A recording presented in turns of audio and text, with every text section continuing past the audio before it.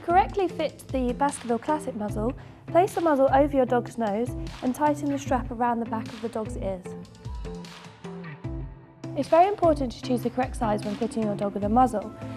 You should ensure that the, the, muzzle doesn't touch the end of the dog's nose here and it's wide enough so that it doesn't interfere with the dog's lips. Also, it should be deep enough so that the dog can open its mouth to be able to pant correctly.